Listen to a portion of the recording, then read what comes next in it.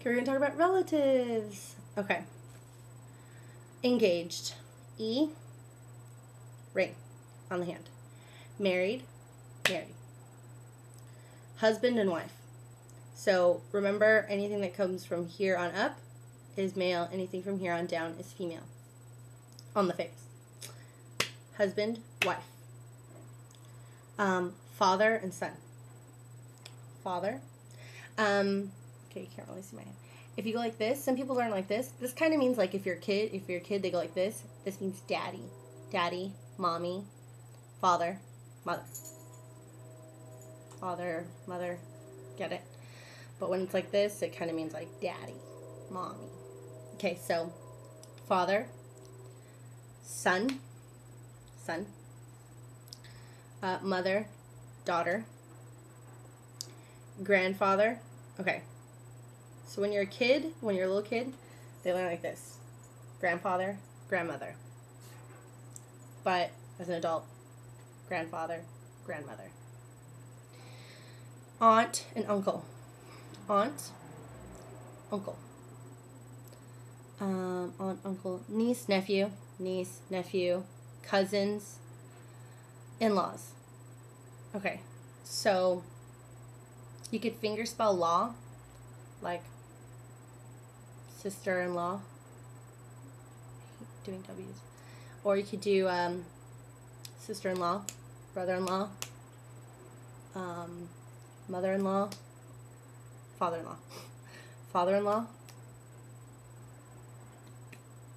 mother in law, or mother in law. Sorry, I'm getting a little mixed up. Family and relatives. So F, family, relatives, R, relatives.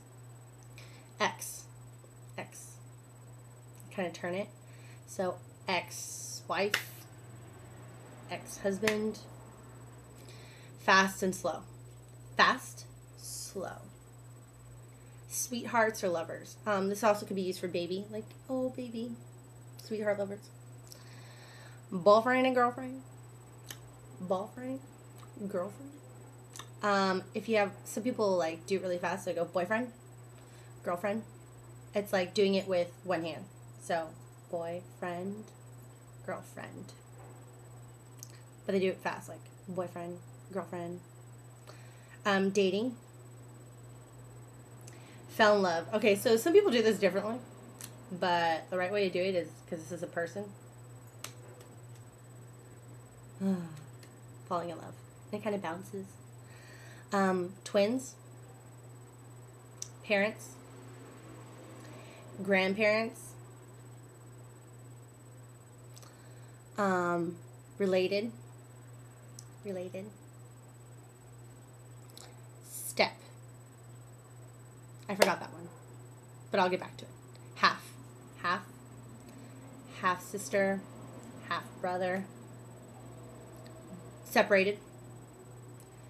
Divorced. Adopted. Um, still living. Living. Still. Died. Foster parents. Okay.